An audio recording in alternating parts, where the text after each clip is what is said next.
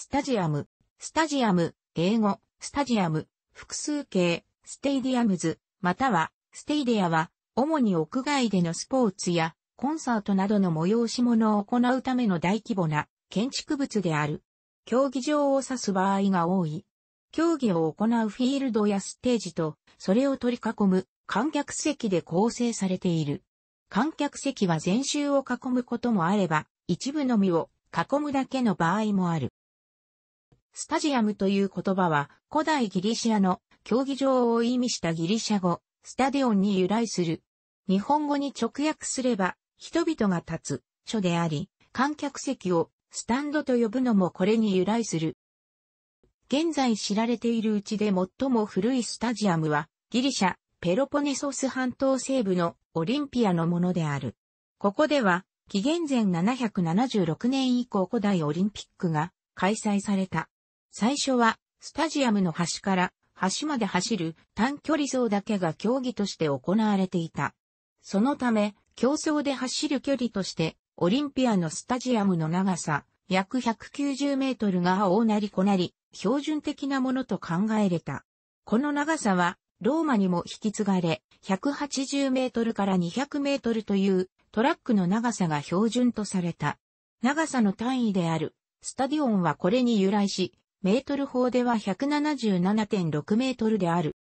なかなか興味深いことに、走る距離が約200メートルを超えると、それ以下の距離よりも最高速度を落とさないと、人間の体は耐えられないことが知られており、近現代の陸上競技の成績もそうなっている。ギリシャやローマの古代都市の多くに、スタジアムが見つかっているが、その中でも、ローマのチルコマッシュモやギリシャのドミティアヌス帝の時代に、釣られたスタジアムが、特によく知られている。スタジアムには、屋根を持つドーム型スタジアムがある。これらは屋根を持ってはいるものの、通常ならば、屋外で行う競技ができるほどの広さを持っており、それらの競技向けに設計されているため、スタジアムを名乗っている。一方、フィギュアスケートのような屋内競技用のものは、アリーナと呼ばれる。屋根は一部分を覆うだけのタイプもある。多くはないが、フィールドが可動式になっているものもある。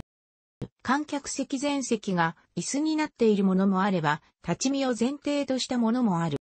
憲兵率を最大限に活かした結果、内外間ともに上部に広がる、すり鉢状にしているスタジアムもある。特に1923年のヤンキースタジアム以来、野球場をスタジアムと呼ぶ例が増えた。ヤンキースタジアムには、最初、陸上競技用のトラックがあり、間のスタジアムであったし、フットボールにも用いられた。何十年か経つうちに、主に野球場として用いられる場合でも、屋外競技場なら何でもかんでも、スタジアムと呼ばれるようになった。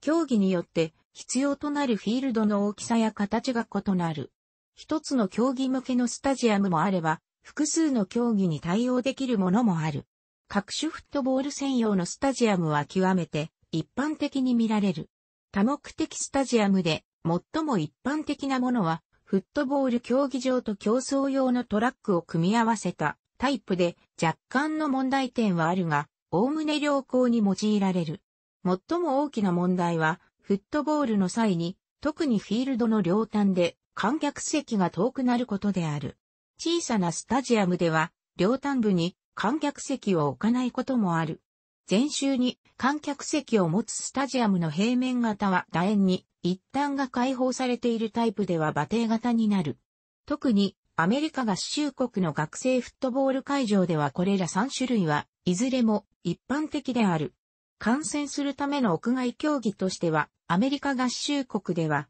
アメリカンフットボール、イカアメフトと野球の人気が高い。そのため、特に1960年代に多くのアメフト、野球兼用のスタジアムが建設れた。その中にはうまくいったものもあるが、両競技が要求するものには、はっきりした違いがあるため、専用スタジアムを建設する動きが1972から1973年にカンサスシティから始まり、特に1990年代よりその動きが加速していった。大リーグ用の野球場に隣接して NFL 用のフットボールスタジアムを建設した。ケースはかつては前日のカンサスシティなどごく一部にしか見られなかったが、近年ではアメフト、野球兼用のスタジアムに併設された広大な駐車場にアメフト、野球専用の球場をそれぞれ建てることにより、両球場が隣接する、あるいは同じ敷地内に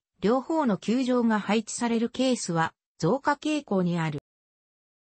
多くの場合、古い野球場はすでにある土地や都市の一角の平面型に合う形で建設されたので、フィールドの形が非対称になっていた。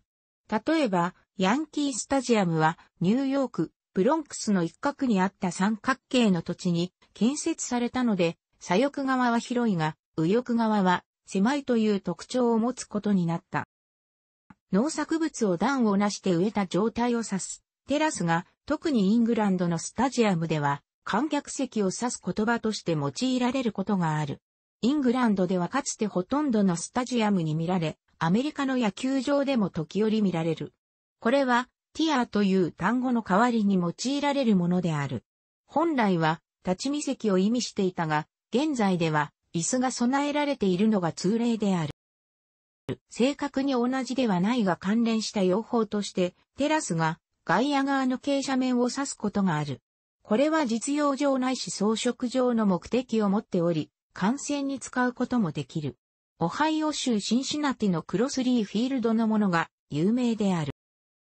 スタジアムの設計が悪いと、ヒルズボロの悲劇、イングランドのシェフィールドヒルズボロスタジアムで1989年4月15日に起きた大規模な観客圧死事故。詰めかけた観客とフェンスの間に挟まれた96人が死亡したヤヘーゼルの悲劇、ベルギーのブリュッセルエゼル競技場で1985年5月29日に起きた事故。イングランドの流儀でドットを押し寄せたリバプール側ファンに驚いたユベントゥス側ファンが混乱状態に陥り39人が死亡したのような大事故に結びつくことがある。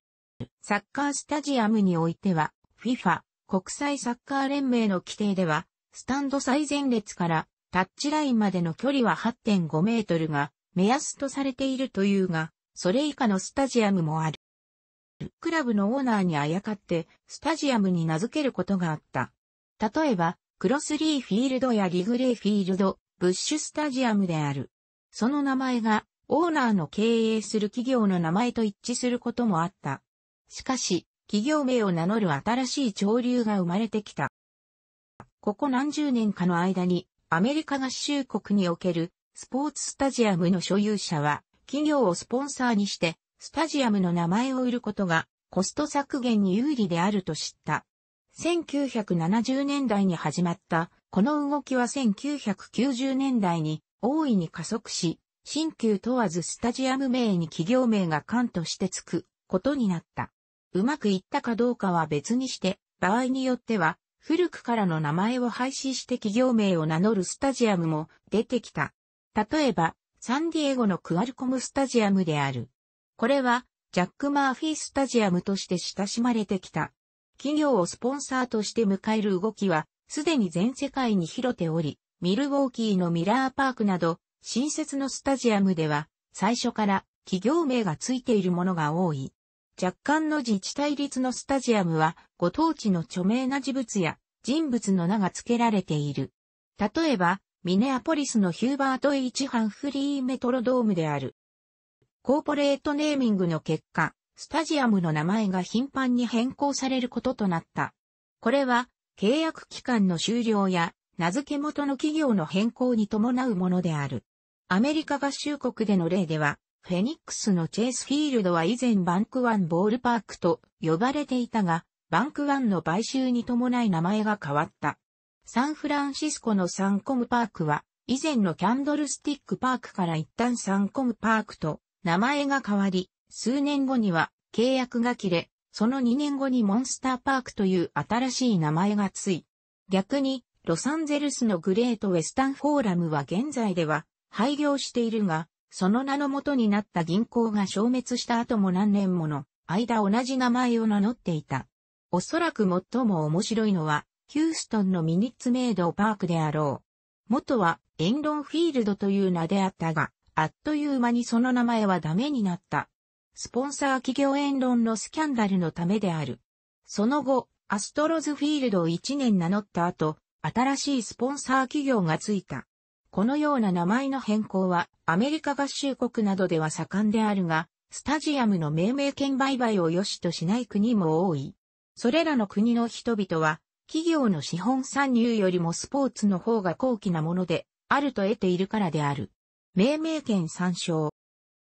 国際オリンピック委員会 IOC では、ピッチ中央から25度以下の場所につけてはならない。FIFA の要求ではそれに加えて45度以上の角度にもつけてはならないとしているという。コンサートで用いる場合、芝生があるスタジアムではそのダメージもある。保護パネルを用いることもある。楽しくご覧になりましたら、購読と良いです。クリックしてください。